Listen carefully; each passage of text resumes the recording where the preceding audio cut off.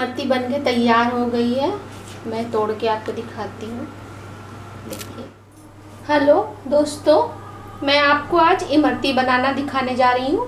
उसके लिए उपयुक्त सामग्री है करीब 250 ग्राम चीनी, बेकिंग पाउडर, कलर।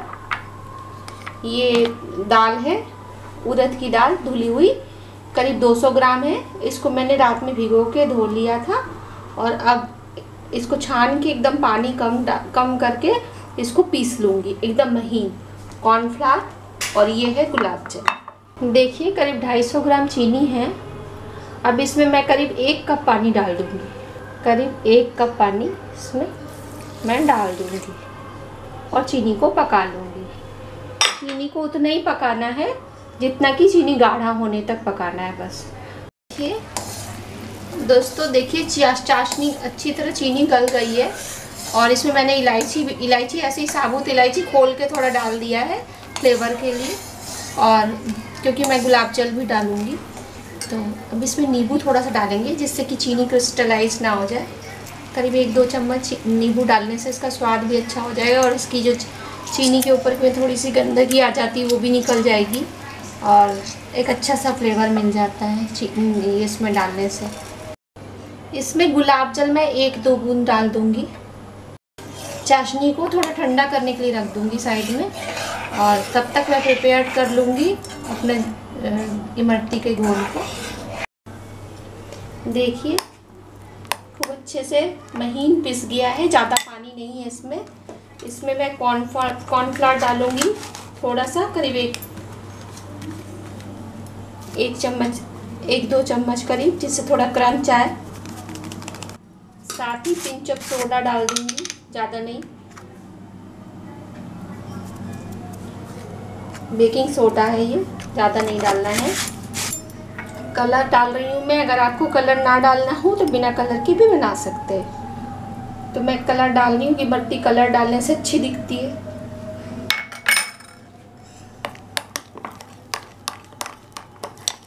देखिए कलर डाल के मैंने इसको बहुत अच्छे से फेंटा है, और जब तक अच्छे से फिटेगा नहीं तो ये नरम नहीं होगा और फूलेगा भी नहीं। तो इसको चेक करने के लिए पानी में डाल के देखिए कि देखिए पानी के ऊपर तक आ गया है, तैर रहा है, इसका मतलब ये अच्छे से फिट गया है। देखिए मैं दूध के पैकेट से बना रही हूँ क्योंकि सबके घर में ये सब चीज़ें नहीं मिलती हैं। तो आप जलेबी वाले उससे भी बना सकते हैं या कुप्पी से भी बना सकते हैं, जो सॉस वाली मिलती है। बॉटल उससे बना सकते हैं। तो मैं इसी से बना रही हूँ। देखिए, मैंने इसकी कुप्पी जैसी बना ली है। जैसे मेहंदी की कोन बनाते हैं, वैसे ही इसके अंदर सब भर लिया है मसाला।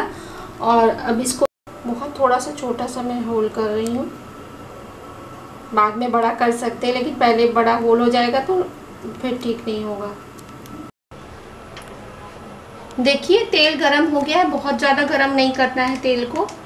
हल्का गरम करना है और बड़ी सावधानी से एक क्रीम जैसा बनाना है और एक उसके ऊपर बनाना है और फिर जलेबियों जैसे उसकी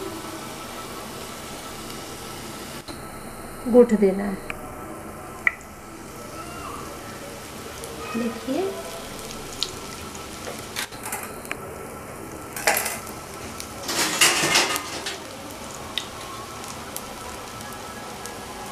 अगर आपके पास बड़ी कढ़ाई हो तो आप तीन चार एक साथ बना सकते हैं। मतलब छोटी कढ़ाई हो तो दो तीन ही बनेंगे, आप एक साथ नहीं बन पाएँगे।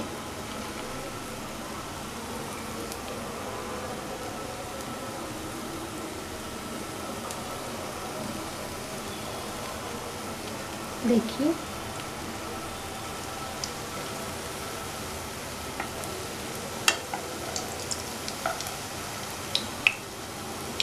इसको हल्की आँच पे ही फ्राई करना है।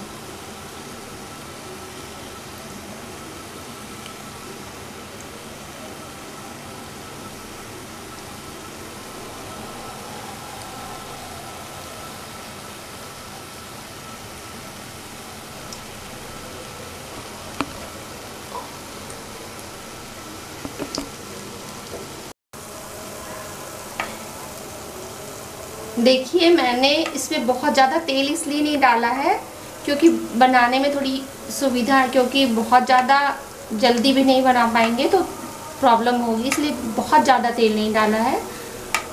करीब एक इंच के अंदर ही तेल डाला है। तो तेल को उसके ऊपर से डालने से अच्छा फ्राई होगा।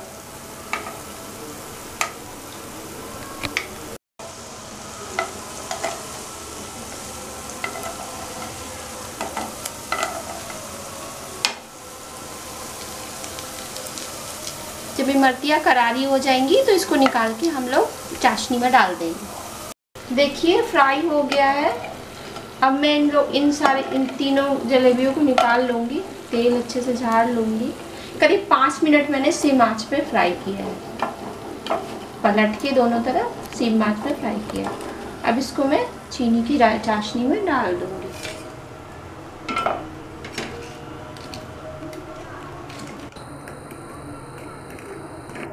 थोड़ी देर इसको रखेंगे। दो तीन मिनट, उसके बाद इसको निकाल। इमरती बन के तैयार हो गई है। मैं तोड़ के आपको दिखाती हूँ। देखिए, अंदर से पूरा रस रस हो गया है पूरा और कितनी क्रंची है। तो आप सब बनाइए। प्लीज़ सब्सक्राइब कीजिए मेरा चैनल और बेल आइकन क्लिक कीजिए। जिससे कोई भी नई डिश बनाऊँ मैं तो आप तक पहुँच जाए। आप सबको बहुत बहुत धन्यवाद। Thank you.